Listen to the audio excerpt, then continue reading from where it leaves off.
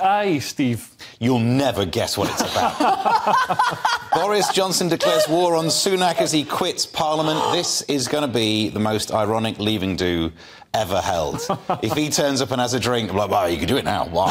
Um, yeah, I mean, it's big news, isn't it? He's uh, instead of going through the process, which would be we actually find out what the committee says, mm. which votes of this this committee that is a majority Conservative committee. Yes, the person chairing it's Labour, but no one seems to be mentioning the fact that if there's a majority that's voted to find him guilty of misleading Parliament, some Conservatives must have been the ones doing that too. Yeah, but lots of Conservatives uh, don't don't like Boris Johnson and they want to see oh, yeah. him out of the party. I mean, this is this is what the left used to do. The right's doing it now. If you're not right enough, if you're not extreme enough, then it's time to attack the other side of ourselves. The left used to split itself apart, and now I guess that fracture line's always been there in the right. But yeah. this this jiggling is making it fall apart. Yeah. Um, but instead of just getting the result from the uh, the committee, then seeing if there's a recommendation for suspension, and then the MPs would have to vote for a recall, and then the people of Uxbridge would have to vote in a by-election.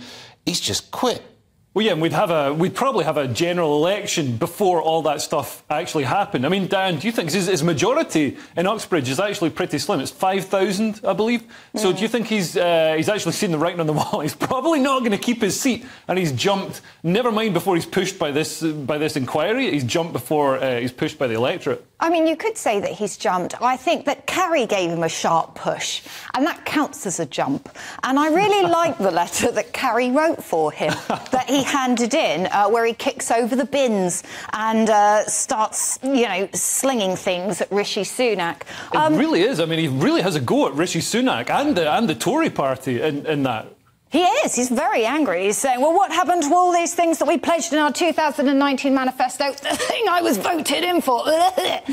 um, yeah, I think that he is definitely jumping. And what I find really funny about this is it's made the Lib Dems go, we've got a chance. It's like, that's really cute. That is funny. You've got to admit that's funny. But Steve, this is going to be a nightmare for, for Sunak, isn't it? I mean, right when he needs the, the party to sort of coalesce and, and give him every chance he can possibly get to possibly, you know, get over that finish line in front of uh, Starmer, uh, it's looking as if the, the Tory party is going to tear itself apart. With Boris not even constrained by any any whip or anything, now he's out of Parliament, he, he can be free to, to tear Sunak to pieces. Yeah, not only is this a bit of an inconvenience, it's the one thing where he needs to have no inconvenience. The only thing that Rishi Sunak will be able to claim is that he's pulled the party together and kept things calm. Because it's not like we've got great economic news happening all the time. It's not like we've got great news about boats. His five uh, promises that then got downgraded to five priorities in the same way that I promised to do the dishes. And then it turns out I will prioritise doing the dishes,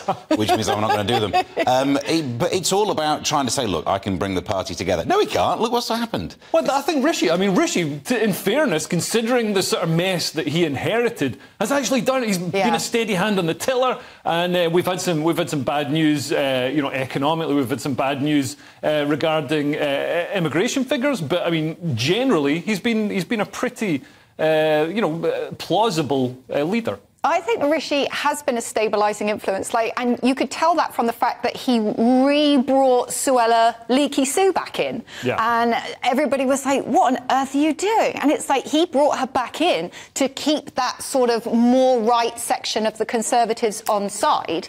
And I do wonder. I know there's this whole conspiracy that now that Boris has gone, he's going to try and make this like group of super conservatives, uh, like the Avengers, and they're going to come back and try and take over like uh, the whole group. But I wonder whether losing sort of Boris and Nadine and losing his section can Rishi keep it calm enough that actually the Conservatives become stronger as a whole? Now all sort of the shouty, weird, squawky ones have gone. So he's purged them from the party, Possibly. yeah. But he hasn't purged them from uh, newspaper columns and, uh, and, and speaking to TV cameras. Watching so you, watching you read all those headlines, it was like when you're learning like prepositions or verbs or something. You have to take the same words and just put them in different orders. It was awful.